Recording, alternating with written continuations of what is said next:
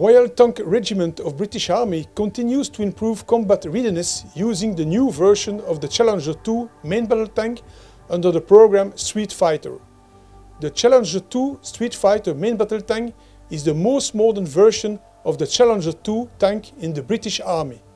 With project Challenger 2 Streetfighter MBT, the Royal Tank Regiment has been testing numerous innovative concepts on the Challenger 2 main battle tank.